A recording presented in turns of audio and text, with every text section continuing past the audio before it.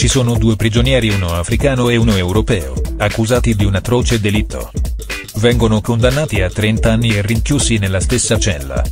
Decidono di soddisfarsi sessualmente decidendo il ruolo, maschile e femminile, a testa e croce.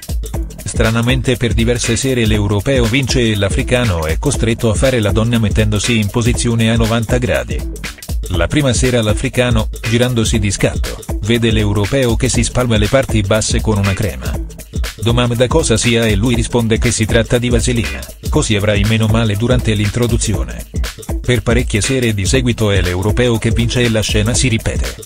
Poi una sera vince l'africano ed è l'altro che si deve mettere a 90 gradi. Ma quando si gira per vedere cosa fa lo vede che si spalma con una strana sostanza e chiede cosa sia. E lui risponde, Edelvix, così avrai meno male alla gola.